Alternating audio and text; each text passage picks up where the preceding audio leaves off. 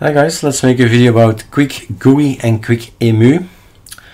One of the guys contacted me and said, Erik, uh, you're behind in the version numbering, right? That can happen. And please report it because we have thousand packages and well, over thousand. And um, voila, I've now an up-to-date uh, package version for Quick EMU and Quick GUI. And I saw one how long was it ago that I've tested it? And this is the last video two years ago. We've tested it so two years later let's test it again. You know we have um, well this is about virtual machines that's one thing. And by default we use VirtualBox with lots of settings in there. And Quick GUI is kept minimal minimalistic easy but then also no configuration no buttons no sliders no parameters. But interesting nevertheless so let's have a look. Tested it out already several times. Let's first see what I have on my machine. So you know the version that works at this point in time right? Quick emu. These guys these two guys were now the end of 2024 and quick emu git was working and quick emu is not working at this point in time. 496 release 53 is working together with Quick GUI bin 12101, right? All built just a few hours ago. And if you install these two guys, then Super D, you get yourself a Quick GUI, right? That's the one we need, Quick GUI. It launches this little bird here, and basically you start with this one first, and then you go here. Once it's downloaded and created, well, it's it needs to get ISOs. Which ISOs? And that's where is, is, is the selling point, I think, I believe. And yes, I've tested already the Arco Pro and the Arco Net. So it's working, right? ArcoLinux has choices here and it is really correct. Net Plasma Pro and the last one, Net Plasma Pro. So it's just a matter of clicking. Say, okay, I'd like to have this version of that version, right? Select this version. Let's try Plasma, that's the last one, and I've tested them all. First of all, you need to download. Here is your folder. I've deleted all the rest, not this one I see. Delete. So Plasma is growing, right? In size, it's coming in. Has to be around 3.5 gigabyte. Hence, let's pause the video.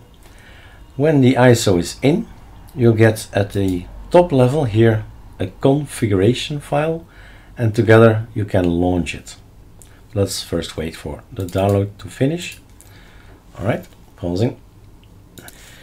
The download is finished and then a bit strange, but we need to dismiss this and then click here, manage existing machines and there is your system and you click on this guy here and then off it goes, right? It's going to create all kinds of things as you see here. Lots of things that, uh, well, let's let him boot up.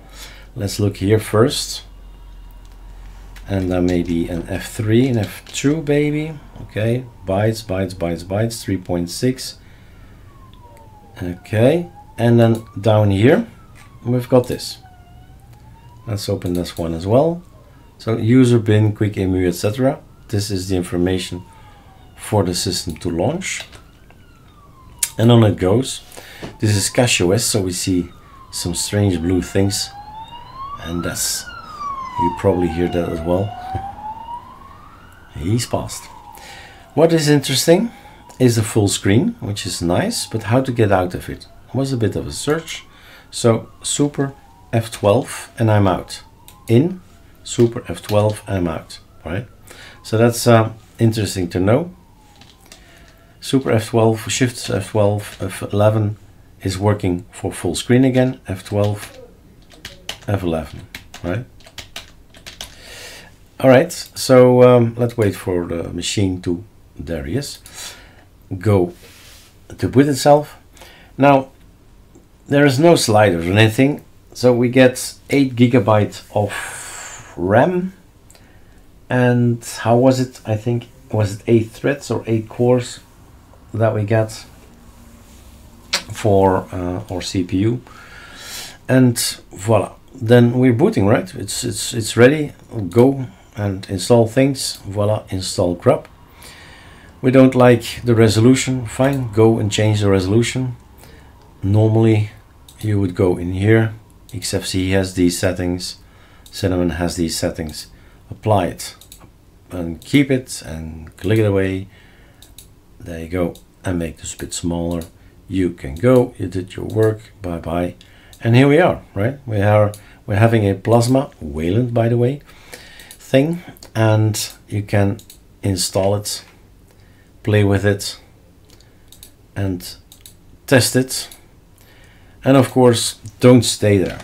Once you decide this is my operating system, this is something I'd like to test out in real metal because it's always going to be more efficient, more responsive on real metal than it is here, right? I have 32 gigabytes of RAM now I've got only 8 and stuff like that. CPUs, more power. And this is normal these days. Well, yeah, the, at that point in time, I remember there were issues with Plasma. So let it crash. Today, the latest ISO I've built today has no issues. It's just a matter of updating, right? So the new stuff comes in and there's a lot of updating available, I suppose, if we do Control T and go to sudo pacman minus syyu you see how many gigabytes coming in? So surely it will fix all those things. 1 gig 1.5 how much? Wow 2.2 gigabyte right? So yeah surely all the things will be fixed by then. Sound is working. That's interesting. Didn't know that yet so sound is working fine inside quick emu that's a good thing to know. And on it goes, installing stuff. Let's uh, pause the video here again and reboot later. And then suddenly it's time to reboot. Huh? So let's restart. That's nice. And we're an arch. By the way, Let's fix it because again, right, uh, this is not the live environment anymore. This is the keep, yes, sure. The official one. Quit, quit, quit, skip all that things, and here we are working. And this is the speed. I don't know what can I open. I can open Sublime Text. How fast is that? Voila. Open VLC, I click, done. So it's quite responsive indeed. Here's Firefox. Sounds probably working. We heard already a little bit of sound, except all the rubbish. Uh, music. And not too long, otherwise they'll ban me. Something something something nice. This maybe no that's something else. Blah blah is this. Official music where look at that AI singing generator. Yep. Let's see this Ah, voila we know we have sound it was a stupid ad but we have sound so here's again a little sign. Look at that, another sign. Terminal console. Sure. Updates. What do you have?